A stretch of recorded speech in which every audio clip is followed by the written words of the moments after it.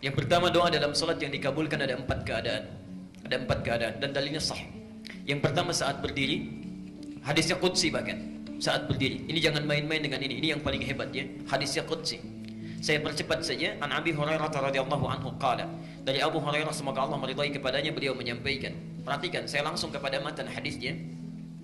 Idza qala al-'abdu ya Qusimatis salat baini wa baina abdi. Kata Allah, kata Rasulullah, qala qala Allah azza wa jalla, Allah berfirman dalam hadis qudsi, qusimatis salat atau qasamtu salat baini wa baina abdi. Saya bagi dalam salat hak dan kewajiban antara aku dengan hambaku.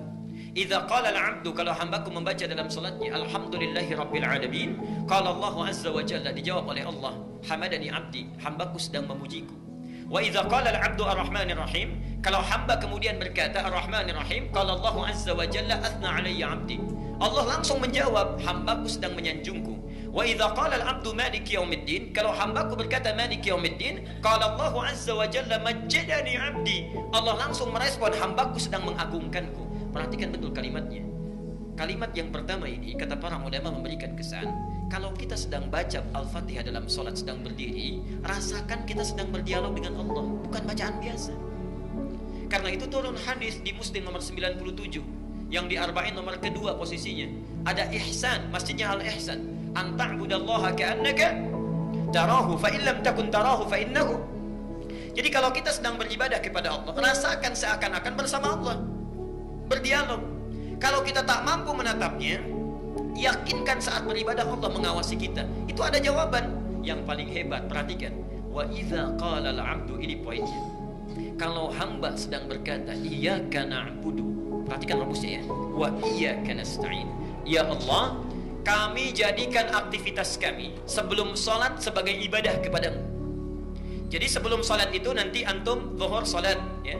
Sekarang niatkan ibadah, nanti makan niatkan ibadah, minum ibadah, pulang ibadah. Kalau ada hamba yang seperti itu, wa iyyaka nasta'in dan sekarang kami punya permohonan hanya kami mohonkan kepadamu. Kenapa kalimat iyyaka nasta'in ini muncul? Karena ini perintah di Quran saat dalam fikih salat Al-Baqarah 45. Perhatikan, bagi orang-orang yang punya persoalan sebelum salat, wasta'inu bis-sabri was-salat. Kenapa kita dipanggil oleh Allah lewat salat? Itu bukan hanya tuntutan fikih semata. Allah sebetulnya ingin menyelesaikan segala persoalan yang kita bawa sebelum menghadap kepadanya. Seakan-akan ketika mengatakan hayya ala salat ini salat, punya masalah apa? Punya problem apa? Punya kesulitan apa yang akan diselesaikan? Ya. Karena itu dalam panggilan adzan setelah hayya ala salat apa? Hayya ala falah. Kalau orang salat pasti bahagia karena masalahnya selesai. Karena itulah ketika kita mengucapkan iyyaka na'budu ya Allah, adabnya. Saya sudah beribadah kepadamu sekarang punya permohonan hanya kepadamu saya panjatkan. Apa jawabnya? Hadza baini wa baina abdi. Inilah komitmen antara aku dengan hamba wali abdi perhatikan kalimatnya. Wali abdi. Dan untuk hambaku yang telah menjadikan aktivitasnya sebagai ibadah itu masalah apa pun yang kau minta saat ini aku akan berikan.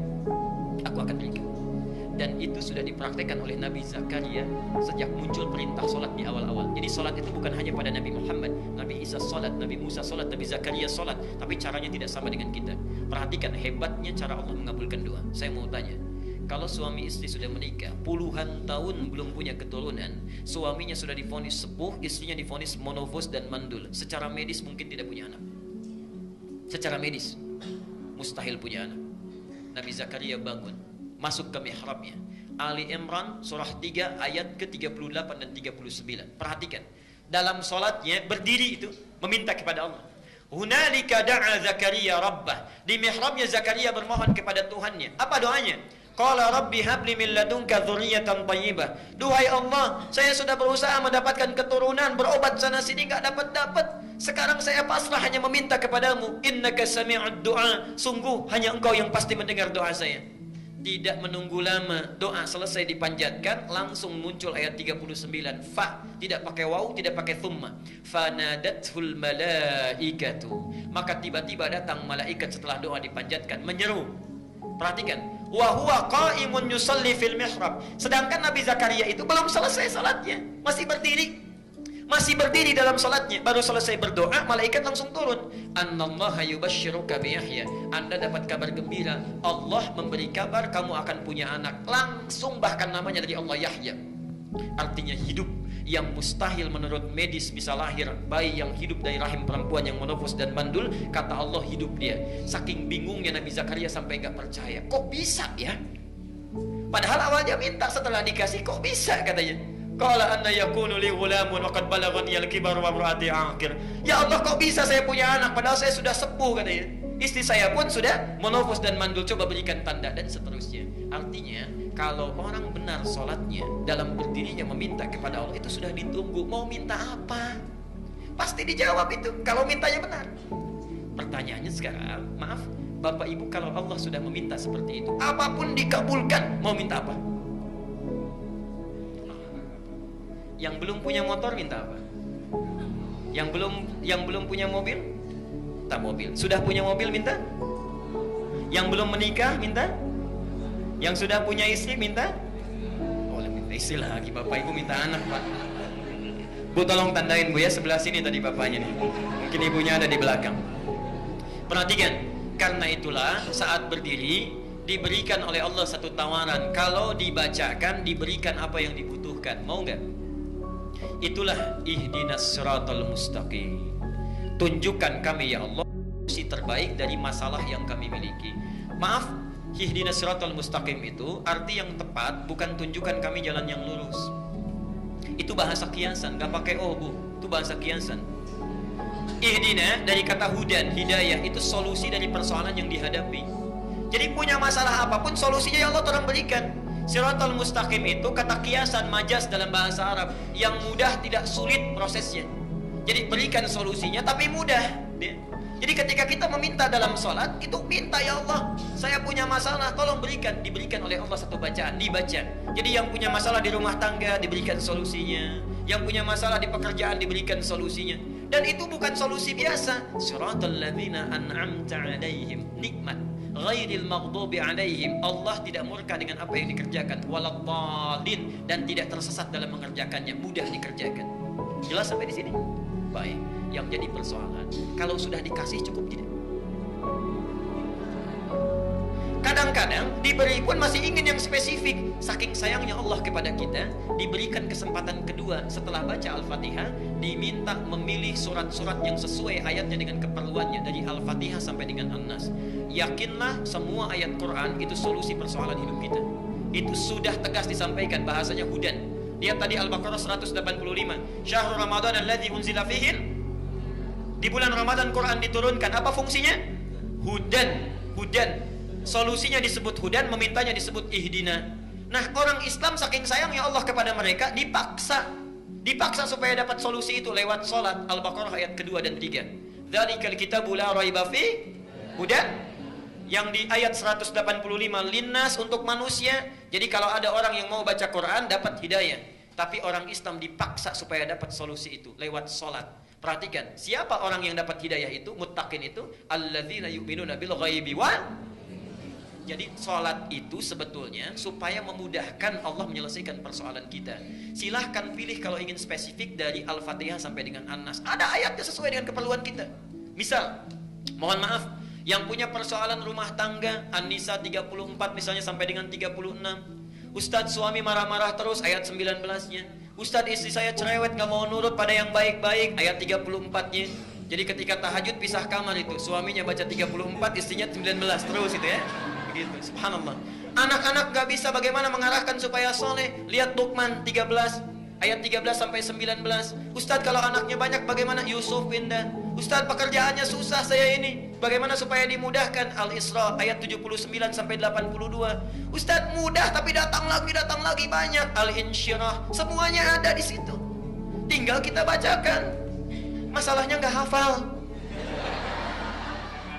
Jadi dari subuh sampai isya yang dibaca itu lagi itu lagi.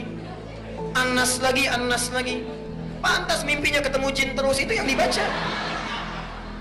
Yang jadi persoalannya. Jadi pertama saat berdiri itu caranya jadi kalau ibu bertanya atau bapak bertanya dari kertas tadi artinya siap menghafalkan ayat Quran. Hadir malam Jumat nanti kita berikan gambarannya. Yang kedua saat ruku, tapi dalam ruku nggak boleh baca ayat Quran, ya cukup mintakan. Baca doa yang sunnah dulu, bisa pilih banyak doanya. Subhanakallahumma bihamdika Allahumma ghfirli atau subhana azim atau subhana rabbiyal azim wa bihamdi dan sebagai banyak. Silakan setelah itu mintakan dalam hati kita atau membaca doa yang seperti Nabi contohkan. Silakan buka buku sifat salat Nabi banyak di situ doanya. Ya.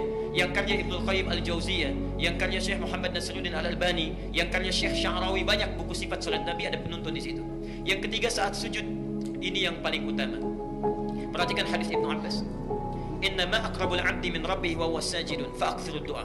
Tidak ada keadaan paling dekat antara hamba dengan Tuhannya kecuali saat sujud.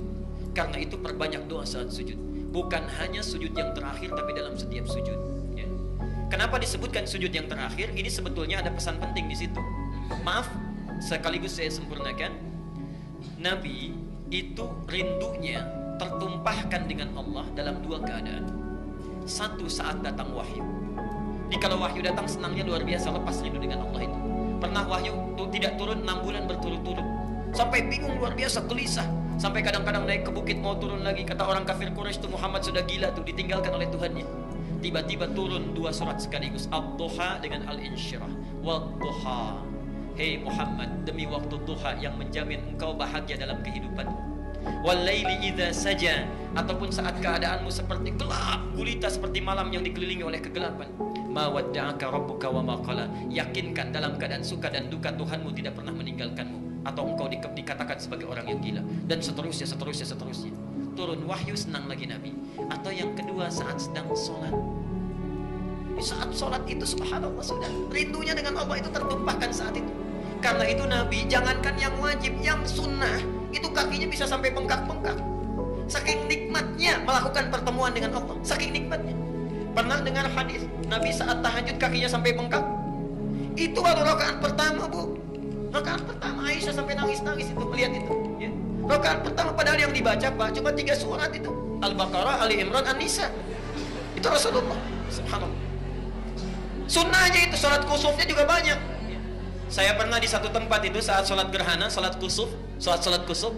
Sebelum dimulai sholat saya maju ke depan saya sampaikan Bapak dan ibu sekalian apakah kita akan sholat sesuai sunnah Nabi atau mirip-mirip Nabi? Kompak. Sesuai sunnah Nabi Pak. Baik saya bilang. Saya teruskan lagi. Kalau sesuai sunnah Nabi, karena salat kusuf itu dua rukuk dua sujud, akan empat kali baca surat, maka insya Allah surat pertama saya baca Al-Baqarah, kedua Ali Imran, ketiga An-Nisa, keempat Al-Maidah. Mirip-mirip sunnah Nabi bah kan Ada lain tuh ya. Itu Nabi. Jadi jangankan yang wajib, yang sunnahnya pun dikerjakan dengan luar biasa. Subhanallah. Para ibu sekalian, apa yang terjadi? Karena itulah dalam sujud yang terakhirnya, kenapa lebih panjang? Karena sulit lagi menanti, menantikan pertemuan dengan Allah walaupun waktu yang ditunggu cukup singkat. Kalau orang sedang dirundung cinta, rindunya luar biasa, menunggu lima menit saja bagaikan lima hari. Karena itulah di sujud yang terakhir itu panjang. Kalau orang khusyuk sholatnya, merasakan kenikmatan dengan Allah, itu subhanallah setiap sujud itu walaupun yang dibaca cuma satu kalimat, panjangnya luar biasa. Lama mau bangkitnya karena merasakan kenikmatan dengan Allah. Jadi kalau antum terbalik keadaannya, sujud terakhir justru ingin cepat-cepat misalnya, nah berarti ada kekurang khusyuan di situ yang dirasakan dalam hal yang tidak wajar. Yang terakhir sesaat sebelum salam. Sesaat sebelum salam, ya. Jadi nanti ada banyak doanya. Allahumma hasibni hisaban yasira atau Allahumma ij'al fi lisani nura wa fi qalbi nura wa fi aini nura dan sebagainya. Silakan pilih di antara empat keadaan itu. Kalau yang saat berdiri belum terpanjatkan minta saat rukuk saat ruku belum terpanjatkan minta saat sujud. Saat sujud belum dimintakan minta sebelum salam. Kalau empat kali diberi kesempatan belum meminta juga, berapa kali mesti diberikan kesempatannya?